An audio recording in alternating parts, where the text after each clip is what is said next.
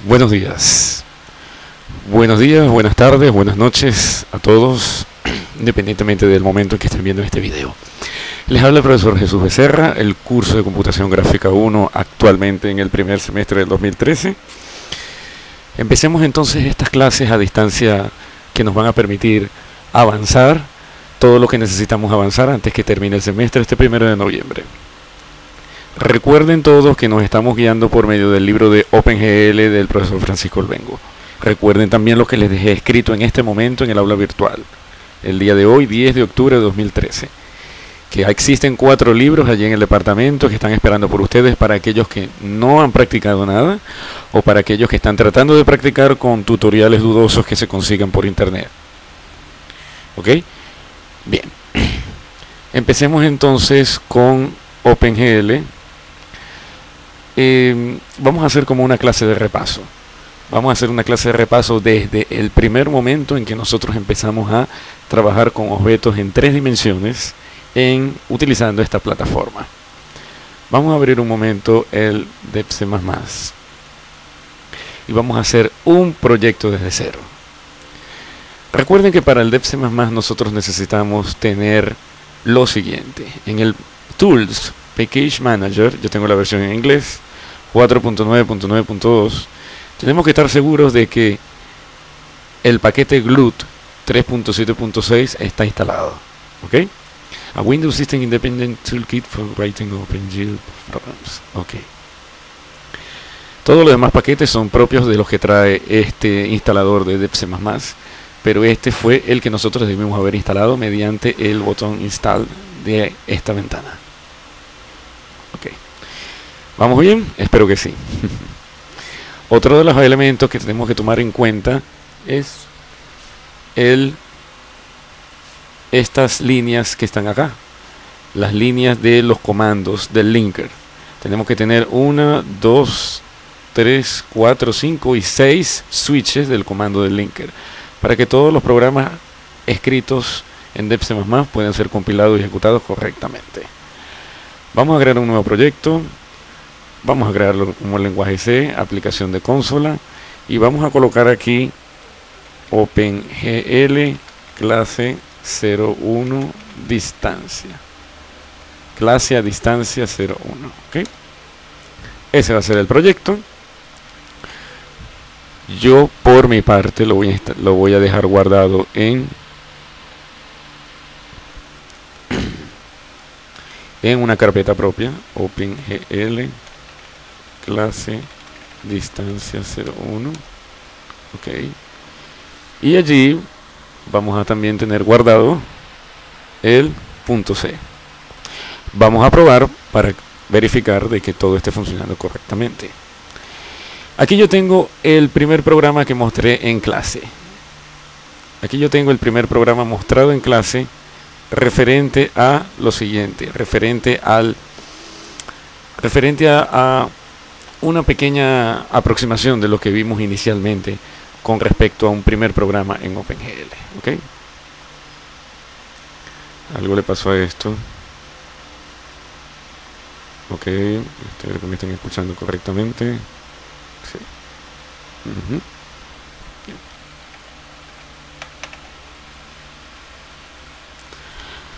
Algo le pasó a esto. No importa administrador de tareas. No es por hacer alarde de todos estos procesadores y de toda esta memoria, ¿no? es porque de verdad necesito ahorita eliminar un eliminar este proceso. Ok. Bien, vamos a documentos, vamos a proyectos, vamos a abrir este señor que está aquí. Ok, esto era lo que habíamos visto anteriormente. Y eso es lo que vamos a seguir, eso es lo que vamos a repasar el día de hoy. En el video actual, quise decir. En primer lugar, en, el, en las librerías, pues vamos a colocar una de las más importantes. ¿Ok? Estas no las necesitamos por ahora, así que vamos a dar solamente esta. En segundo lugar, vamos a poner esto. using namespace std. Okay. En tercer lugar, vamos a colocar aquí dentro del main la inicialización de qué. Recuerden todo lo que yo les he dicho en el transcurso de todas estas clases. La inicialización de la plataforma de GLUT, que viene siendo la comunicación con la API de OpenGL, el manejador de ventanas que se comunica con la API de OpenGL, que lo único que tiene OpenGL en cuanto a librerías son el dibujo en pantalla. La inicialización de GLUT, la inicialización del display, modelo RGB y doble buffer para pintar en una zona de memoria y intercambiarla con la pantalla actual. El tamaño de la ventana, que en este caso vamos a poner 800 por 600 0000. Esto es debido a lo que estoy utilizando para hacer este video. Estoy usando una pantalla de 800 por 600 para que el video no sea tan pesado. Bien. Bien. Práctica evaluada del profesor. No, vamos a colocar aquí el mismo. El mismo título. Ok. Que viene siendo el título de la ventana. Init. Con esto mandamos a llamar a la función init, que es una función propia. La función init va a tener entonces, init, iniciar, lo siguiente. Funciones estándar de OpenGL. Vamos a colocarlo aquí. Ok. Miren toda la separación que acostumbro usar al momento de iniciar una función. Una buena práctica de programación que les aconsejo. Init. La limpieza, cada vez que hagamos un clear, la limpieza se va a hacer con qué color? Con el color negro. Recuerden que este es el rojo, verde, azul y color alfa. 0 significa totalmente transparente y 1 significa totalmente opaco. Generalmente siempre se usa 1. Si voy muy rápido, ya saben que ustedes tienen la ventaja de este video de poder hacer pausa, de poder retroceder, de poder avanzar, etcétera. La idea es de poder abarcar en estos minutos lo más que podamos en esta grabación. Siete minutos hasta este momento. Continuamos. Otra de las cosas también que tenemos que tomar en cuenta en la inicialización son elementos como este. El tipo de relleno en los polígonos. Eso se hace mediante la función GL Polygon Mode. En donde yo especifico que el frente va a ser en forma de línea o en forma fiel, en forma rellenada en donde yo especifico que la parte de atrás del polígono va a ser, la cara de atrás del polígono va a ser en forma film, en forma de línea. En forma de línea, en forma de fill, que es rellenada. En este caso, el frente lo pongo rellenado y la parte de atrás la pongo en forma de línea. Por defecto, por defecto, el OpenGL actúa siempre en forma de línea. ¿Ok? Muy bien. Recuerden ubicar en el libro de OpenGL todo lo que tenga que ver con los valores por defecto. ¿Ya? Muy bien. Sigamos entonces con la función. Hasta este momento ya se habrán ejecutado mentalmente, imaginariamente, todas estas sentencias. Ah, con esto unimos nuestra función display con el redibujado de la pantalla. Con esto unimos nuestra función reshape con el cambio de tamaño de la pantalla. Con esto unimos nuestra función keyboard con el presionado de una tecla del teclado. Con esto, una tecla alfanumérica. Con esto unimos la función special key nuestra con el evento de función de tecla especial que viene siendo cualquier tecla de arriba, abajo, izquierda, derecha, F1, F10, F12, espacio, control, etcétera, de nuestro teclado. Con esto también unimos nuestra función mouse al evento mouse de GLUT. Y con esto unimos nuestra función mouse move al evento motion function de GLUT. Y el programa va a quedar aquí, en este ciclo. Cuando se cierra tanto la ventana de consola como también la ventana de OpenGL, pues se sale de este ciclo y termina el programa, terminó main, termina el programa. Ok. Como podrán darse cuenta, estoy tomando de el mismo libro de OpenGL esta estructura para tener una buena práctica de programación para el proyecto de ustedes. Variables globales, todas las variables globales que vamos a necesitar. Funciones manejadoras de eventos, todas las funciones manejadoras de eventos del teclado y del mouse, e inclusive del timer que vamos a necesitar. ¿Okay? Funciones estándar de OpenGL, pues vamos a necesitar a init y vamos a necesitar a display y vamos a necesitar a reshape. En primer lugar vamos a colocar aquí display. ¿okay? Display. Vamos a cerrar aquí. Vamos a cerrar aquí la llave. Ok.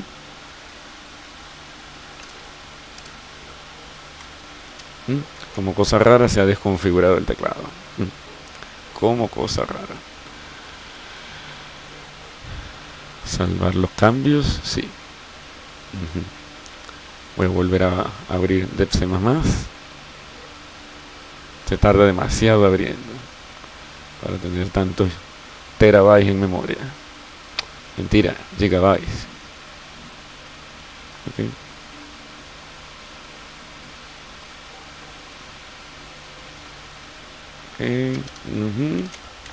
Listo. Vamos entonces. Lo que acabo de hacer es para la inconveniencia de esto. ¿Ok? Esto se activa por ventana. Y mm, a veces se desconfigura. Es preferible, la experiencia lo ha dictado, cerrar la ventana y volverla a abrir. De tal manera que la nueva ventana que se abra tome la configuración por defecto. Porque luego cada ventana va a tener una configuración de teclado distinta, etcétera. En nuestro display vamos a tener lo siguiente lo siguiente. Ok. En nuestro display simplemente vamos a limpiar. Ok. Y luego de limpiar vamos a hacer lo siguiente. Swap buffer. Ok. Ok. Listo. En nuestro reshape que vamos a tener, vamos a verlo vamos a tener lo siguiente. Y esto sí es necesario que lo practiquen utilizando la documentación del profesor Luengo.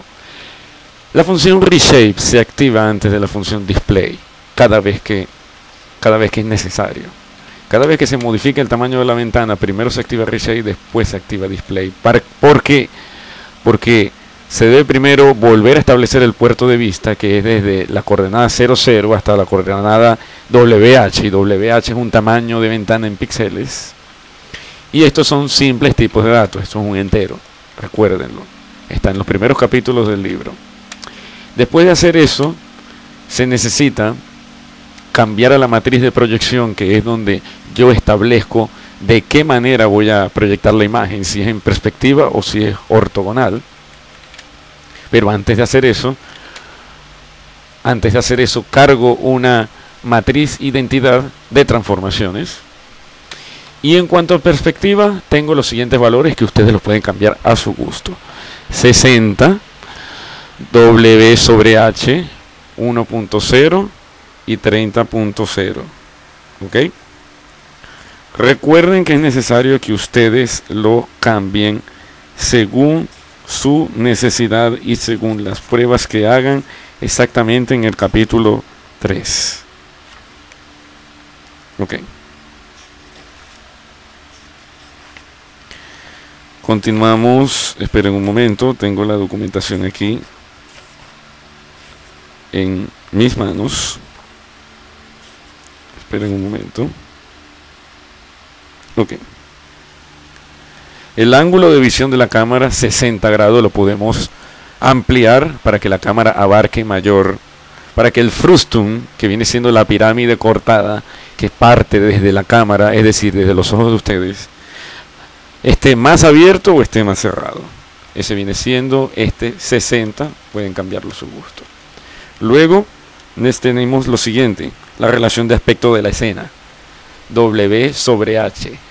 Recuerdan para aquellas ventanas para aquellos formatos cinematográficos o aquellos formatos de video que tienen que ver con 4 a 3, 17, 9, 16, 9. Esos formatos que tienen que ver formato de televisión o formato widescreen. Bueno, 4 sobre 3, eso va a dar una cantidad en particular. 1.33 es la relación de aspecto. ¿Ok? En donde yo tengo por cada píxel vertical tengo 1.33 píxeles horizontales. Veamos 16 sobre 9. Allí tienen. Por cada píxel vertical tengo 1.77 píxeles horizontales. De tal manera que con esto se haga la corrección para la imagen que lo hace automáticamente OpenGL para que figuras como círculos o esferas se vean realmente como círculos y esferas y no como elipses, no como esferas alargadas o círculos alargados. Ya eso lo hemos discutido. Bien, el tercer parámetro, la distancia al plano cercano, 1. Y la distancia al plano lejano, 30. Esto lo puedo variar a voluntad, no hay ningún problema. La proyección ortogonal aquí la tengo comentada porque no la voy a proyectar de esa manera. No voy a crear un plano arquitectónico, voy a crear realmente una escena en tres dimensiones. Y después de haber terminado de colocar mi perspectiva, vuelvo otra vez a la matriz de visión modelado. ¿Para qué?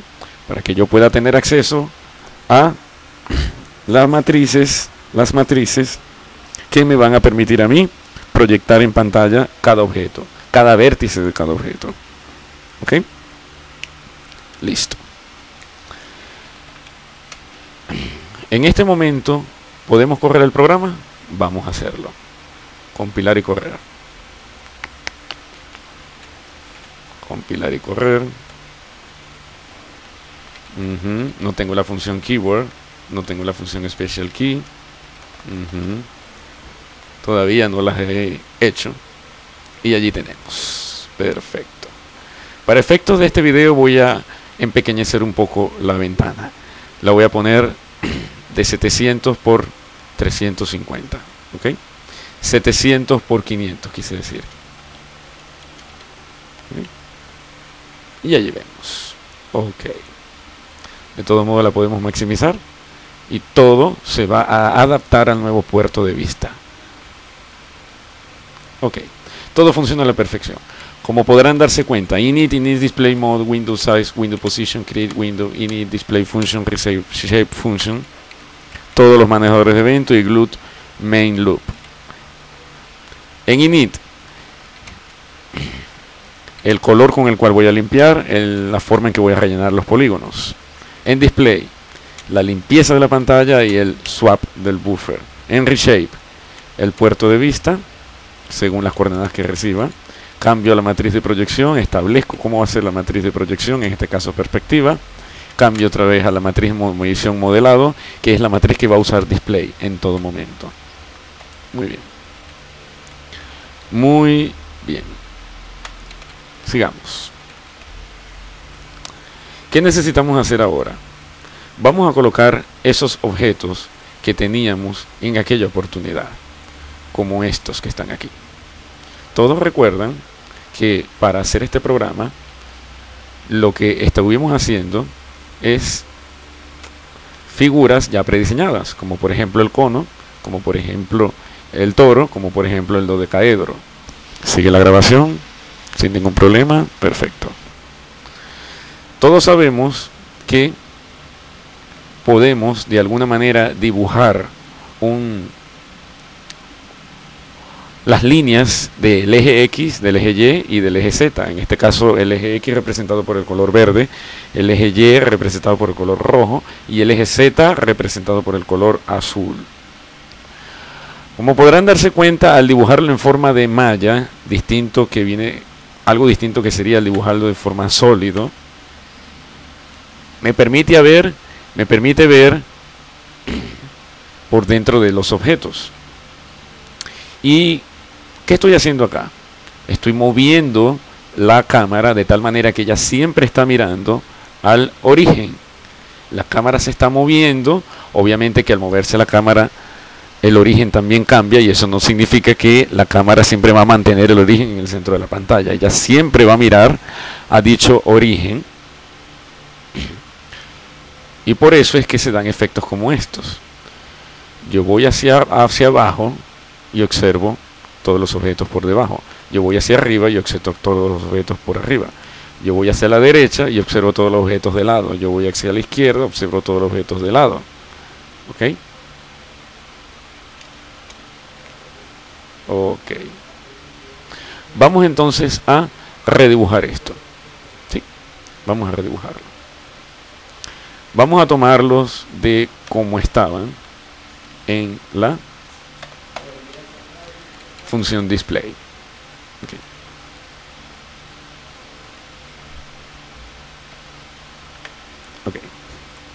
Esto es algo que es necesario que ustedes practiquen, que es necesario que ustedes aprendan. Lo que estoy colocando acá se trata de la inicialización de la matriz como matriz identidad para que no haya ningún tipo de transformación. Y cuando hablo de transformación me refiero a esto. Traslación, rotación y escalado. ¿Ok? Me refiero a eso. Muy bien. Ahora, ¿qué necesitamos hacer en primer lugar? Inicializar la matriz, inicializar la cámara, que en este caso la cámara va a estar controlada por tres variables globales. ¿Por qué? Porque las estoy modificando con el teclado.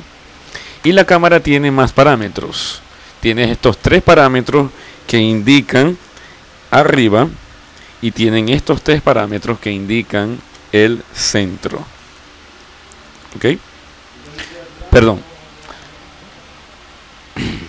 Tres parámetros que indican el centro, tres parámetros que indican arriba y los tres primeros parámetros que indican la posición de la cámara. ¿Ok? En el espacio. X, Y, Z. Recuerden pensar en todo momento en las tres coordenadas. La matriz identidad vacía, sin transformaciones, yo la guardo en una pila. ¿Para qué? Para que todas las transformaciones que yo vaya a hacer aquí se afecten a este pedazo y cuando yo vuelva a sacar de la pila, pues yo obtenga nuevamente la matriz vacía. La matriz vacía la puedo volver a obtener aquí, con esto, pero no es la idea, porque la idea es que nosotros vayamos acumulando transformaciones principales para toda la escena y luego transformaciones individuales para cada objeto de la escena. Y por eso es que realmente necesito una pila donde voy metiendo y voy colocando, voy metiendo y voy sacando de dicha pila. Ahora bien, ¿qué tengo yo acá? Dependiendo de una variable global bool, booleana, que controlo también con el teclado, pues yo voy a mostrar líneas. Y voy a unir vértices en forma de líneas. Es decir, cada dos vértices los voy a unir. Como podrán darse cuenta, tan sencillo como haber hecho esto. Desde menos 10x hasta 10 en x, lo uno con un color particular que viene siendo el verde. Desde menos 10 en y hasta 10 en y, lo uno con un particular, con un color particular que viene siendo el rojo desde menos 10 en Z hasta 10 en Z, lo uno con un particular, color particular que viene siendo el azul. Y después de hacer eso, termino la generación de vértices. Cada vértice unido de forma particular, en este caso de 2 en 2, que es lo que significa Harley Lines. Ya con esto ya nos encontramos en el capítulo en el capítulo que les muestra a ustedes de qué forma vamos a crear polígonos capítulo 5. Lo podemos crear en forma de punto, donde las líneas no puntos no se unen, los vértices no se unen, en forma de líneas, los vértices se unen de dos en dos, en forma de line strip, los vértices se unen desde el primero hasta el último, definidos en esta lista, GL begin y GL end. En forma de line loop, desde el primero hasta el último y el último se une con el primero. En forma de triangles, se unen de 3 en 3 en forma de triángulos strip, en forma de triángulos fan, en forma de quads, eh, cuadros, se unen de 4 en 4, quad strip, se unen de 4 en 4, pero de tal manera que los cuadros quedan adyacentes y en forma de polígono. Y en forma de polígono, muy parecido al line loop, pero con ciertas diferencias que ustedes la tienen que averiguar. Una vez haber hecho esto, el color lo vuelvo a restablecer aquí en qué? En un color blanco. Rojo, verde y azul en su máxima expresión. 255, 255, 255 o 1.0, 1.0, 1.0 daría blanco. ¿Ok? Hasta ahora nada fuera de lo normal. Establezco el color, dibujo vértice, establezco el color, dibujo vértice. Y las, líneas que van a aparecer entre este vértice y este vértice son del color de los vértices. Luego aquí saco la matriz. Luego de haber hecho esto.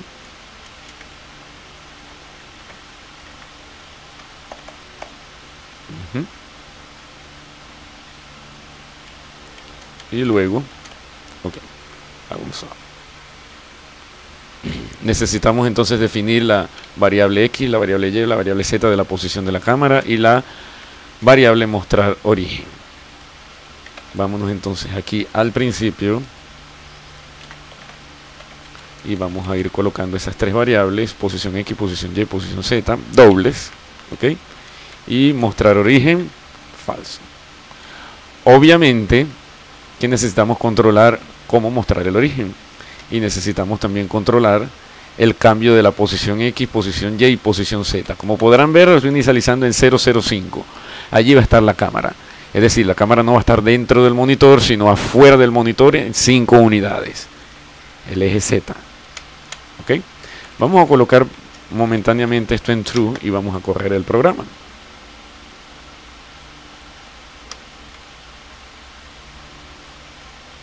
¿Ok? una función. Mm, recuerden algo muy importante. Exacto. Cuando es lenguaje C, este el, tipo de datos bool no existe. Cuando es CPP, el tipo de datos bool sí existe. Así que vamos a tener que definirlo como lo definíamos en algoritmo 1. Mostrar origen, sí, 1 es sí, 0 es no. Si mostrar origen es igual a 1. Ok.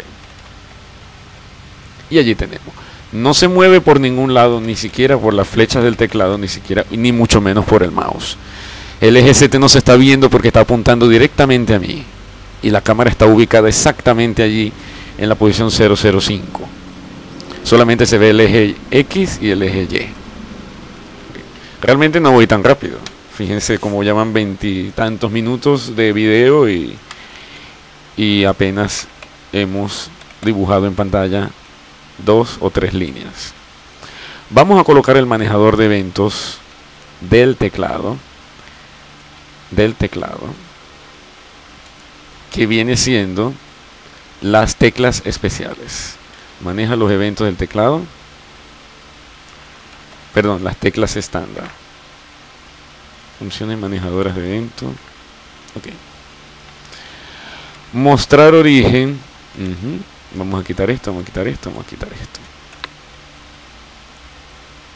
Con la L mayúscula o L minúscula yo voy a hacer lo siguiente. A mostrar origen lo voy a cambiar. Mostrar origen es igual a cero. Entonces mostrar origen es igual a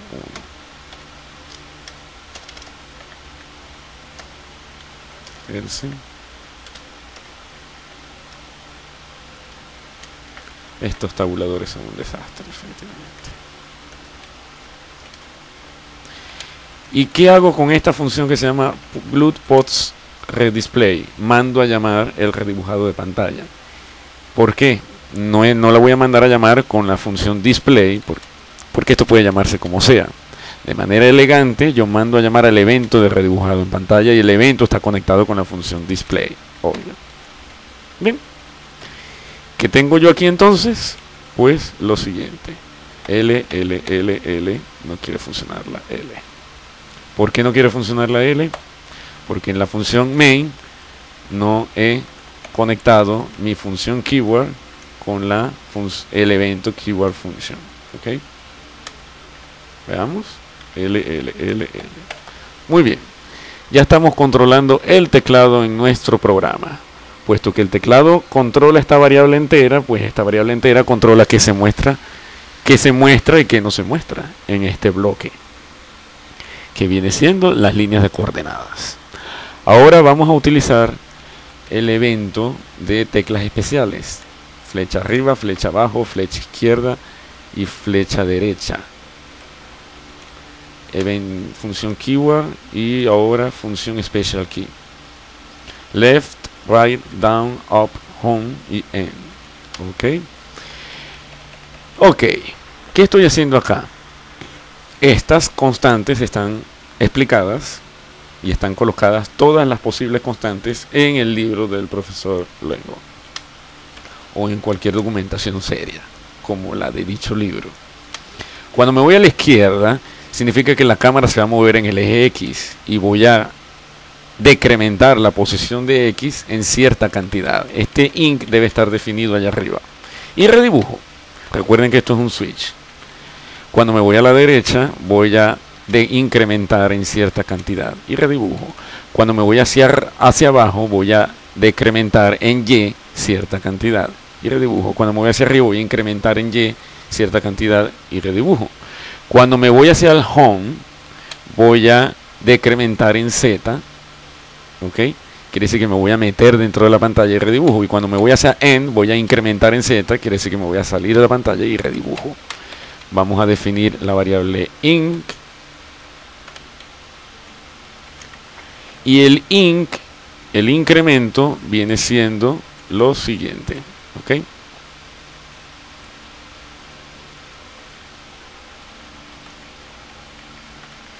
Por orden. 0.4 voy a incrementar o decrementar de 0.4 en 0.4. Esto lo puedo variar. Esto lo tengo que probar yo a ver cuál es el valor que yo necesito. ¿Ok?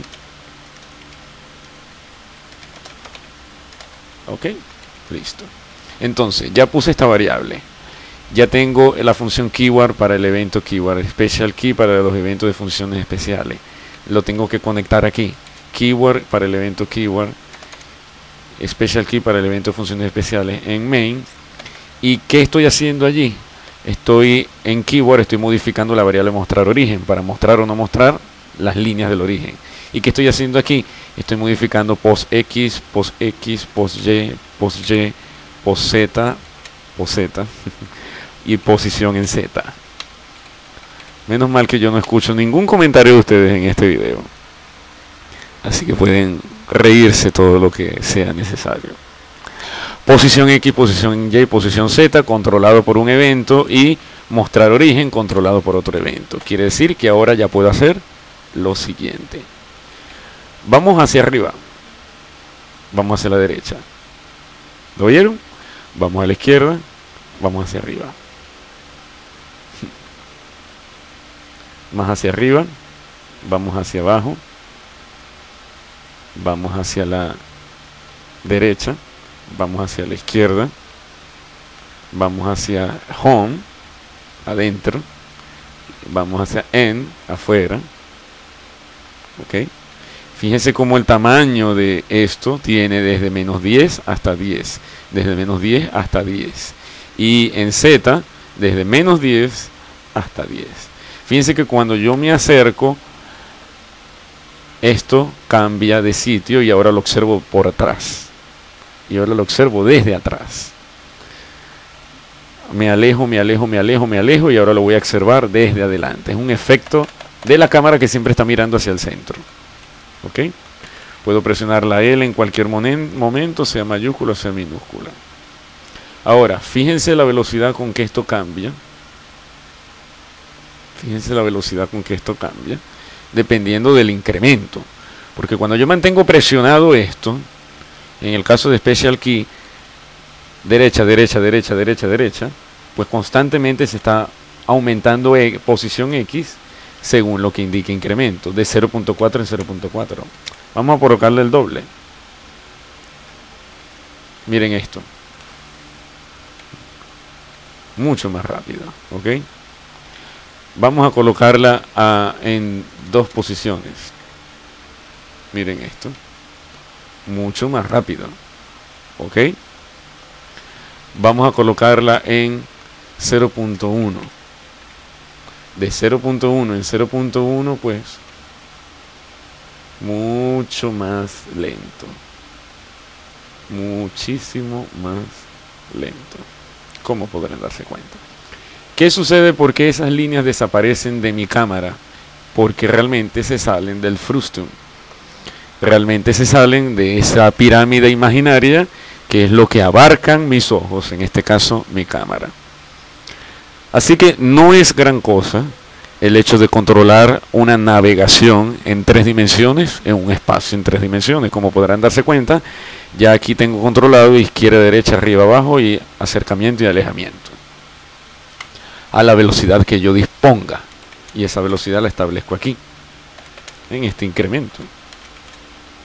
Y la posición la establezco aquí y mostrar o no mostrar ciertas escenas del, del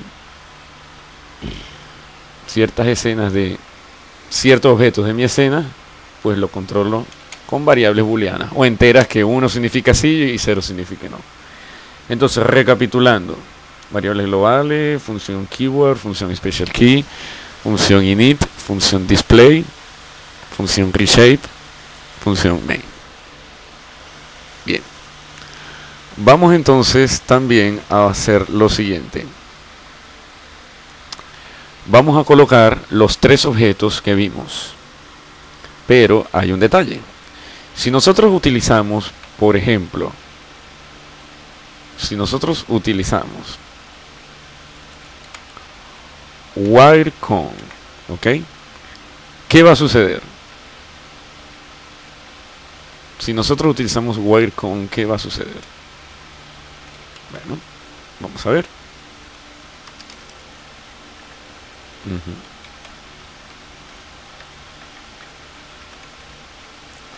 Como siempre los tabuladores son un desastre. No es por alabar las aplicaciones de Microsoft, pero esos tabuladores están perfectamente arreglados en programas como Visual Studio. Blue Wirecom de tamaño ¿Qué recibo aquí? Mm, bueno, revisen esos parámetros en el libro del profesor Bengo. Ok, vamos a ver qué es esto. Mm, muy bien, ¿ya vieron la perspectiva? Es una pirámide, en este caso es un cono, pero apenas de cuatro lados, como lo dice este parámetro. De tamaño 1 de base de tamaño 2 de altura y este otro parámetro búsquenlo ustedes. ¿Qué necesito yo hacer con este cono? Lo puedo aumentar. En lugar de tener 4, pues voy a tener 16. Ahora sí se parece más a un cono. Ahora tengo 16 lados. Vamos a ponerle 8. Tengo 8 lados. ¿Cuándo es que se ve como una pirámide? Cuando tiene cuatro lados. Así que necesito de alguna manera rotar este cono. Y eso es lo que voy a hacer con la función glRotate. ¿Ok? Aparte que también lo voy a colorear. Ahora pregunto, ¿por qué tengo yo que ponerlo? ¿Por qué tengo yo que ponerlo? Obviamente que no me pueden responder en este video. Antes que esto. Es lógico. Todo lo que yo vaya a dibujar va a estar influenciado por la matriz de rotación que, que está definida desde un principio. Así que yo primero modifico la matriz de, de, de la matriz de rotación, la matriz de transformaciones y lo que dibuje se multiplica con cada vértice se multiplica con dicha matriz y se obtienen nuevos vértices. Aquí estoy diciendo que voy a rotar 90 grados en el eje de las de las X en el eje de las X. Bien, vamos a ver. Perfecto. Roté en el eje de las X y era lo que yo quería. ¿Ok? Recuerden de qué formas, qué significa rotar en el eje de las X, rotar en el eje de las Y, rotar en el eje de la Z, y todo eso está explicado en los ejemplos del libro del profesor Luengo. de hecho más publicidad a este libro. Si yo entonces lo roto en sentido contrario, pues voy a tener esto. ¿Lo ven? Muy bien. Muy bien. Y este color, ¿de dónde saqué yo este color? En realmente, realmente este es el 255, este es el 128 y este es el 0. ¿Por qué me dio como un color que no es básico? Un color así como, como marrón tirando a naranja. Por esto. Yo puedo hacer lo siguiente.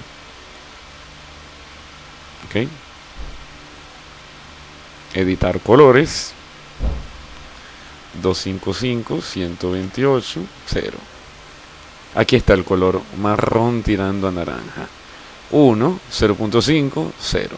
Así que cualquier combinación de colores, yo tengo aquí los componentes en rojo, verde y azul, que obviamente tengo que transformarlo en escala de 1, de 0 a 1, ya no de 0 a 255.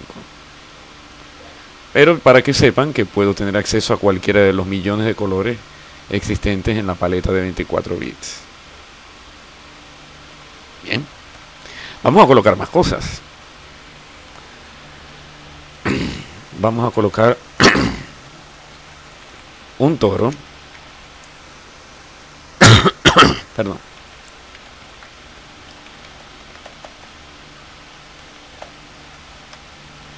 Y después del toro, vamos a colocar un dodecaedro. ¿Ok? Ok. ¿Qué va a suceder aquí? El toro tiene ciertos parámetros. ¿Ok? Radio menor, radio mayor, cantidad de divisiones horizontales, cantidad de divisiones horizontales, verticales, y el dodecaedro no tiene parámetros. Como no los estoy trasladando, todos aparecen en el mismo sitio. Todos aparecen en el origen. Ya a estas alturas es necesario que ustedes sepan que ese efecto, que eso es el comportamiento de esta API. Así que voy a colorear el toro de un color 0.50, 0.5 y voy a colorear el dodecaedro de otro color 011 ¿ok? para que veamos la diferencia. Muy bien. Todos aparecen en el origen. El toro está como podrán darse cuenta acostado. La dona está acostada el ¿por qué? porque realmente todo está rotado. El dodecaedro pues al rotarlo no se, mucha, no se nota mucho la rotación. Vamos a quitar la rotación de aquí y vamos a darnos cuenta que la rotación que se aplicaba a todos ahora no se aplica a ninguno. Como ven, el cono por defecto le está acostado, el toro, la dona, por defecto ya está levantada y el dodecaedro, bueno, ya saben que es una figura casi esférica. ¿Qué significa eso? Que yo tengo entonces que hacer una rotación y de alguna manera eliminar esa rotación. Yo tengo que hacer transformación y de alguna manera eliminar esas transformaciones. Miren lo que voy a hacer acá. Ok.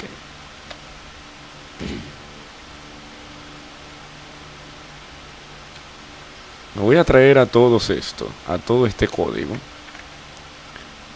Ok. Voy a eliminar esto y voy a traerlo. Listo. ¿Qué hice con todo este código? No nos perdamos. Display, clear, identity, lookup, push matrix. Mostrar origen, push matrix, pop matrix. ¿Ok? Ok.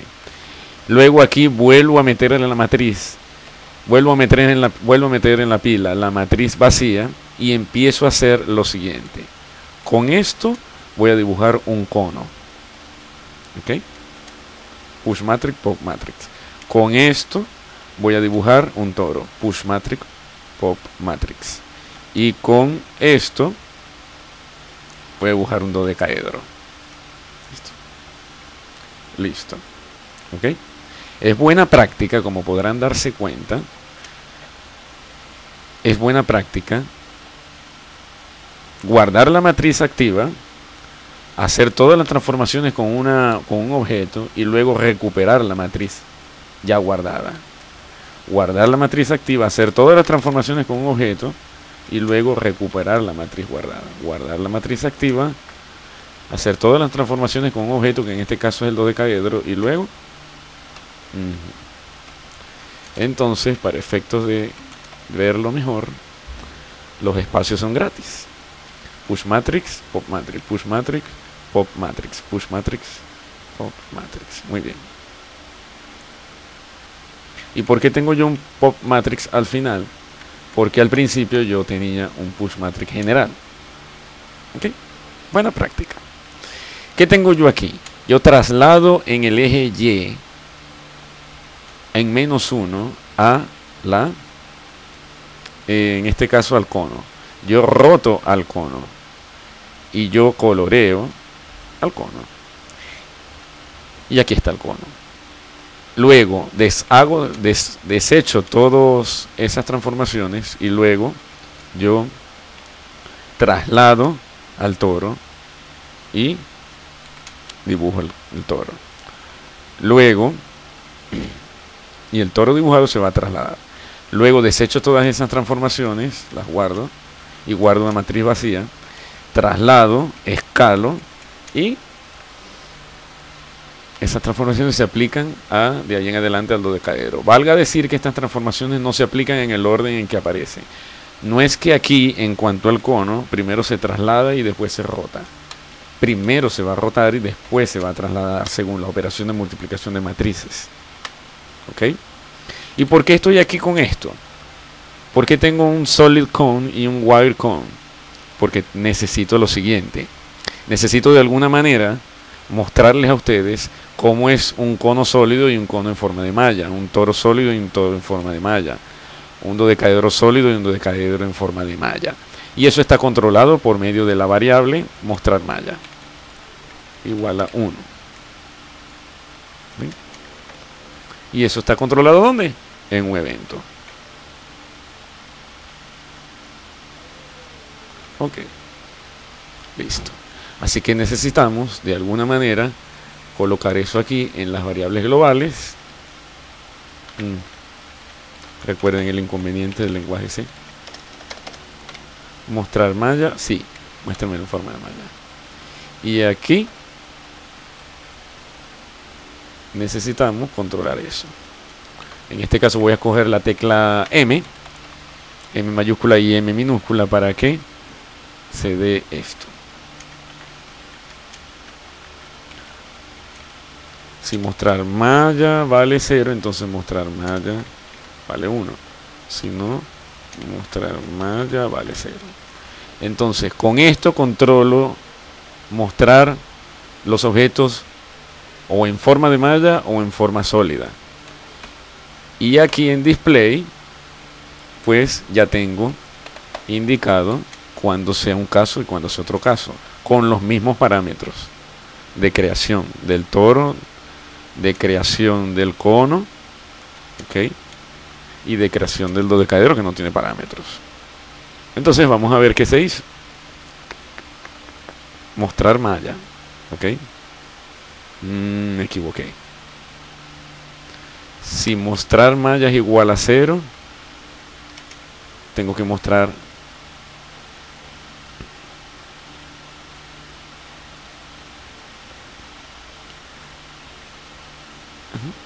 Exacto. Si mostrar malla es igual a 1, tengo que mostrar en forma de cono. Si mostrar malla es igual a 0, tengo que mostrar en forma sólida. En forma de... Me equivoqué, pero bueno, eso ya lo voy a arreglar. Mostrar malla. Inicialmente lo inicié en 0. Y si pongo así M, se convierte en mostrar malla. No. Mostrar malla, sí. Mostrar malla, no. Mostrar malla, sí. ¿Ok? Recuerden, lo inicialicé valiendo 1, mostrar malla, sí, aquí está 1, mostrar malla 0, mostrar malla 1. Eso es algo demasiado sencillo. Pero hay un detalle. Miren lo que sucedió. Yo moví el toro hacia atrás en el eje Z. Yo moví el dodecaedro hacia adelante en el eje Z. Pues vamos a comprobarlo. El toro está trasladado hacia el menos 2 de Z. El dodecaedro está trasladado hacia 1.5 en Z y ya, y está escalado. hacia la mitad en los tres ejes.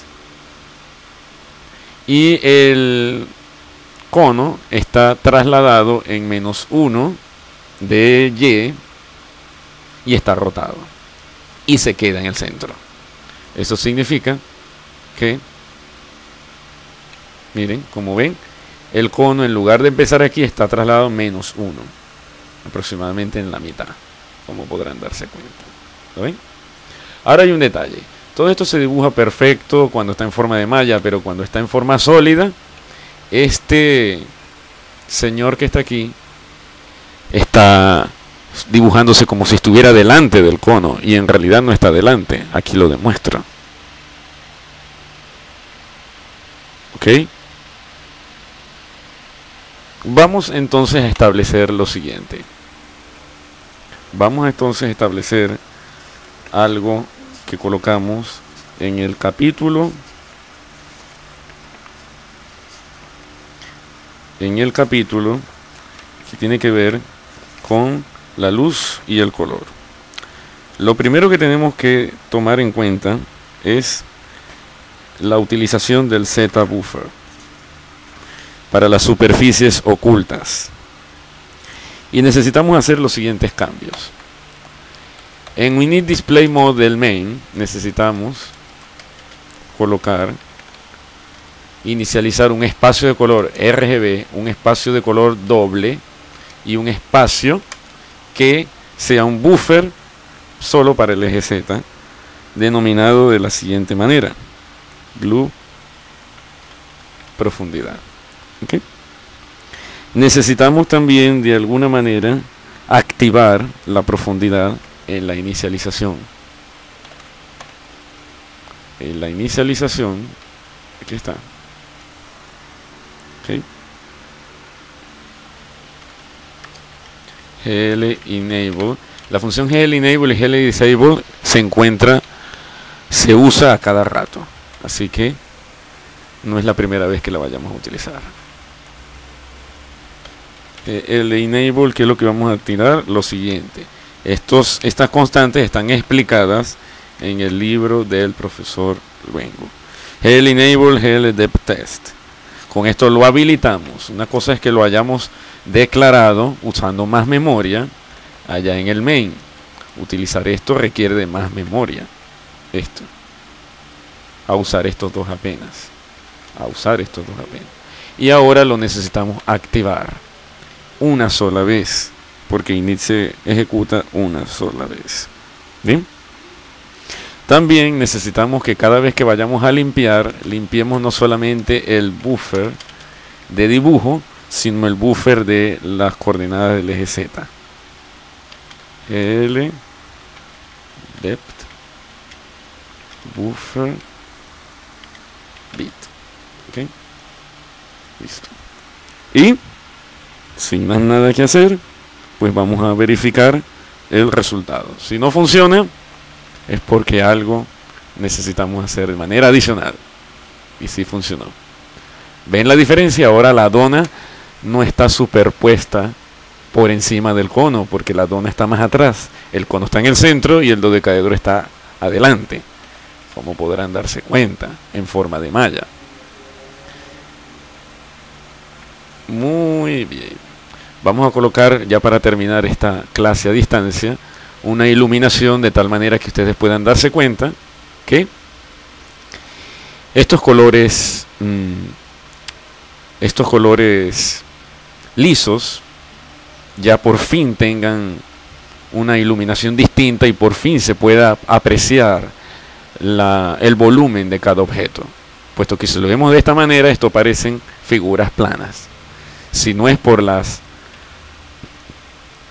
las coordenadas, eh, esto parece realmente figuras planas. Figuras planas. No hay ningún indicio de tres dimensiones. Así que para la iluminación, que no es gran cosa, no vayan a pensar que es algo demasiado, demasiado, demasiado difícil, pues necesitamos lo siguiente. Vamos a abrir el programa Iluminación en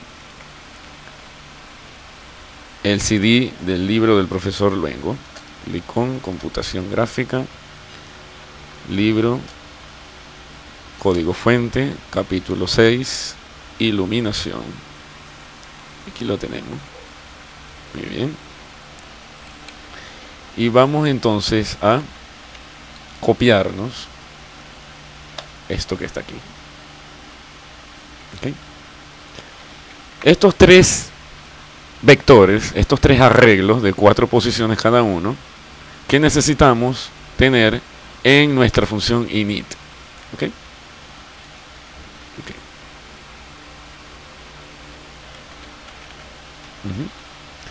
Ambiente difusa y especular son las componentes de luz ambiente, de luz difusa y luz espectacular. Quise decir especular.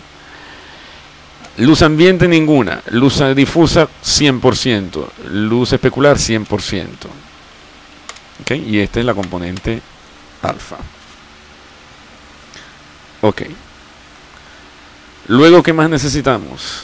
Necesitamos lighting, light, light, light, light, light. Ok.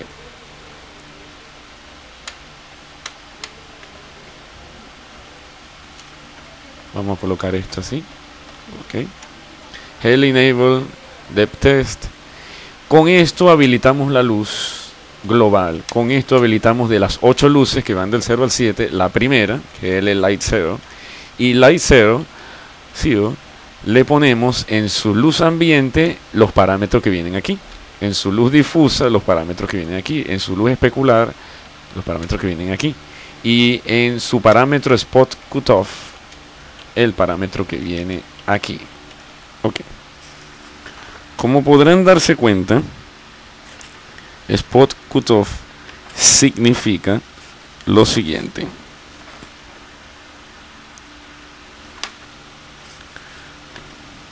Un momento.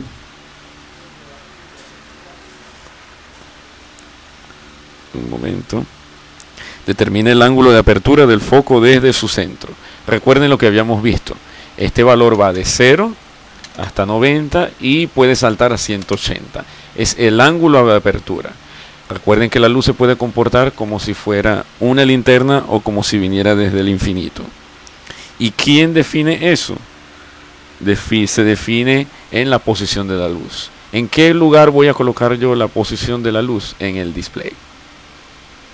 Como podrán darse cuenta. En el display voy a utilizar una variable global que viene siendo la posición de la luz. ¿Ok? Posición luz. Y en el display voy a colocar en dónde va a estar la luz. Así como en el display coloco en dónde va a estar la cámara, en el display coloco eso.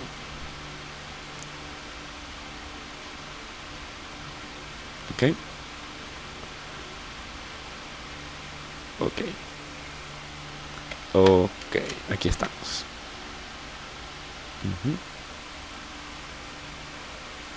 Vamos a nuestro display y después de haber colocado la cámara vamos a colocar la luz posición luz entonces GL Light FB es es como para indicar a, qué, a cuál luz vamos a colocarle tal o cual parámetro GL Light FB a la luz 0 le colocamos el parámetro difuso con estos valores a la luz 0 le colocamos el parámetro especular con estos valores Asimismo, entonces sería aquí, a la luz 0, el parámetro position con estos valores, posición luz. Hay un detalle en particular con los valores de la posición. Los tres primeros valores significan algo si el cuarto valor es 1 o si es 0. El cuarto valor de ese atributo determina el tipo de fuente de luz. Si es 0, es luz direccional. Y si es distinto de 0, es luz posicional. ¿Ok? Así que vamos a ponerlo cero, que viene siendo la luz mm, direccional que viene del infinito. ¿Ok? Y esto, los tres primeros valores establecen la luz, eh, la dirección en la que viajan los rayos de luz. los rayos de luz van a incidir exactamente en la posición 002. de z. Vamos a ir variando esto también. Así que todo debería funcionar, ¿verdad? Perfección. Qué curioso, ¿verdad? Vamos a ver. Excelente. Excelente. Por fin estamos viendo una iluminación que viene desde el infinito e incide en 002. Todo esto lo podemos variar. ¿Qué pasó con los colores? ¿Qué pasó con los colores? ¿Qué pasó con la malla? La malla está por allí. Allí está. Pues eso es, la malla no, quise decir el origen de coordenada. Eso es tema de la próxima clase. Origen de coordenadas lo pongo, lo quito. Y espero entonces que les haya sido de provecho esta clase del día de hoy. Así que muchísimas gracias por su atención. Este video alcanzó una hora de duración. Espero que en el servidor de YouTube lo hayan podido observar de manera correcta.